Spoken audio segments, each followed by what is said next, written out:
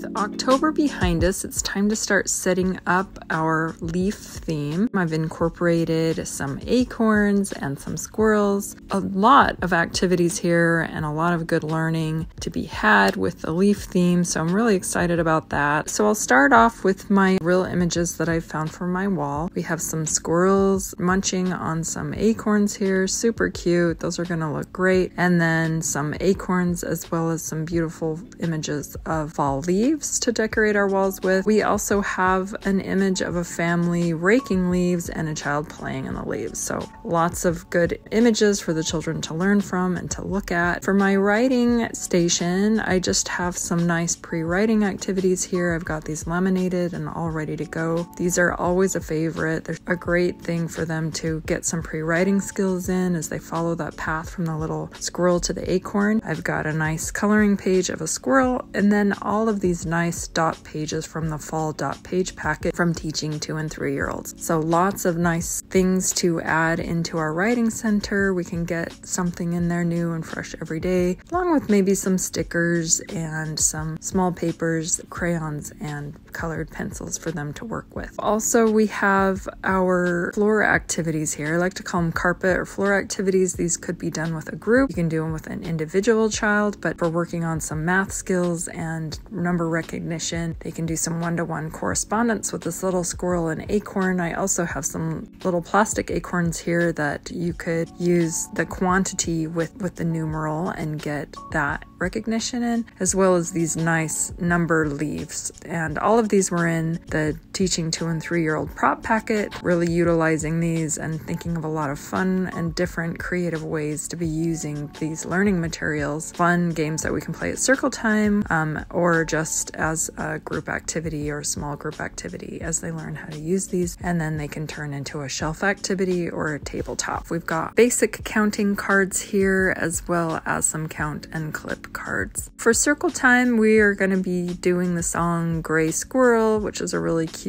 action song, and then Leaves Are Falling. And this one helps to work with colors and then also is a good movement. And then we have more carpet game or group activity type games here. We can play with these different shape cards. These are really great for learning the different shapes. So this is what color is your leaf, and then they would just, after you pass all the colors, they bring them up and set them on the correct card. Symmetry matching leaves and then the color matching puzzle. I find that they just really work great with magnets and I'm going to put magnets on these and put them on my magnet board. We have some pom-pom cards here which are really nice. We've got a leaf, a squirrel, and an acorn. They'll just match the different pom-poms onto the cards and those will be a really nice uh, tabletop activity for the children to have pretty easy and self-explanatory. So I found these foam leaf cuts as well as these acorns. I think I'm just going to do some collaging activities, maybe have them glue on the mini pom-poms along with some fall colored paper and just make some colorful collages. For our Play-Doh, I found these cute little mini cookie cutters and I think they'll have fun using that little button on there and stamping out some different shapes. And then we also have just a basic leaf shape stamp. And then we're still really enjoying our pumpkin spice Play Doh that we made. It smells so good and it's still really soft. I've found that if I do the cook version of these Play Dohs, they stay together so much better and they are a lot less crumbly and a lot less likely to like dry up. And then this is just like the exact for one child to use at a time and it doesn't get out of control. I think we'll do some stamping with the paint in these bigger, chunkier stamps. And I just have a few fall ones out. So we'll just maybe cover the whole table in paper and get some paint out and let them just have fun with those. I've been kind of collecting some little woodcuts for some fun woodcut painting. We can use that with the tempera paint. And then this activity, what color is your leaf? I think I am just going to go ahead and use either watercolors on this and maybe another day we can do the dot paints. I think those will look really nice. And then I've cut these little leaves out of the coffee filters. You can either either paint those with dot paints and squirt water on them, either with a squirt bottle or just with a dropper, or you can put different colors of liquid watercolor in some kind of container like this where it separates the colors out and let them squeeze the colors onto the filters. And then this is painting activity we're going to do where they make a tree with the brown paint using their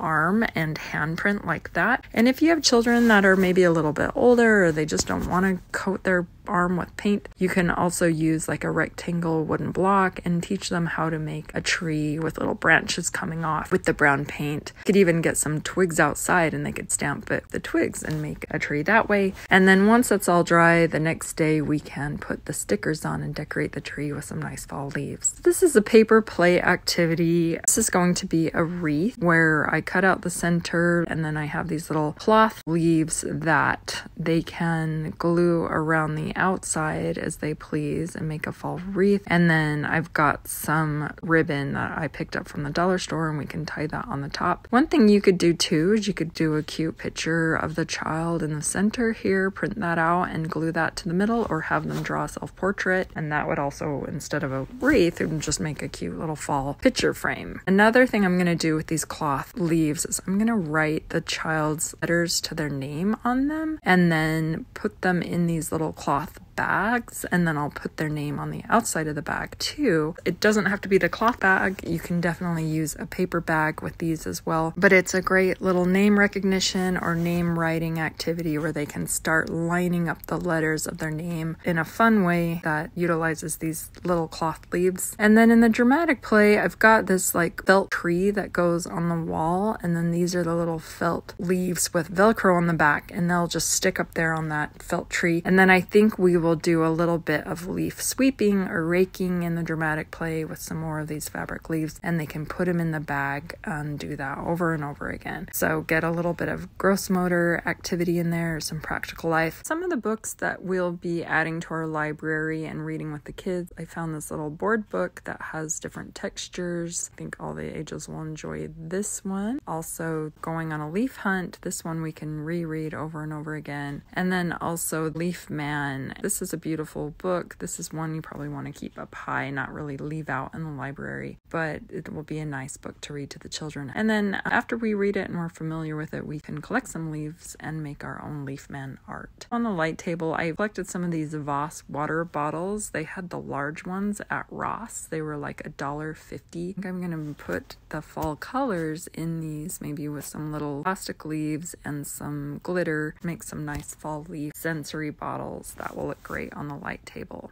Here's my activity overview. I've put some of these activities in here just using my fall curriculum from teaching two and three year olds. This is just super awesome. She's got a ton of great ideas in here. I've used it for the last three months. And if I've been able to put some of these activities into the overview, and this is a just a simple way to help me look at the next two weeks at a glance and see everything that we're doing from our sensory bin to the dramatic play and get all of these things organized. I don't always do these things in exact order. Some days I think, oh, I need like an easy activity today. It's been a little rough, or maybe not too many people are here today, and I'm doing something that's going to go into the children's portfolio. So I can switch these activities up and I can switch them around and do them when I see best fit. But now I need to get all of this organized and to get my room set up and my old theme stuff put away. And so I can get all this new stuff out and we can have a lot of fun when the kids come next week, they can explore and we can have all these new activities for them to work on. Within the next week or so, I'll be making a new video showing the kids working with these materials. So make sure to subscribe so you don't miss out.